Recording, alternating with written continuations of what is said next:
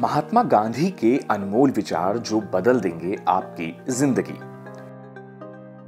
किसी भी स्वाभिमानी व्यक्ति के लिए सोने की बेड़ियाँ, लोहे की बेड़ियों से कम कठोर नहीं होंगी। चुभन धातु में नहीं, बल्कि बेड़ियों में होती है। ताकत शारीरिक शक्ति से नहीं आती है। यह तो अदम्य इच्छा शक्ति से आती है। स्वास्थ्य ही असली धन है। सोने और चांदी का मूल्य इसके सामने कुछ भी नहीं।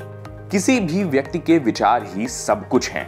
वह जो सोचता है, वह बन जाता है। सभी धर्म एक ही शिक्षा देते हैं, बस उनके दृष्टिकोण अलग अलग हैं। कमज़ोर कभी क्षमाशील नहीं हो सकता है। क्षमाशीलता ताकतवर की निशानी है।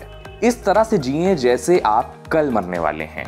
इस तरह से सीखें जैसे आप वर्षों जीवित रहने वाले हैं। किसी देश का विकास और महानता का अनुमान वहाँ के पशुओं के साथ होने वाले व्यवहार से लगा सकते हैं।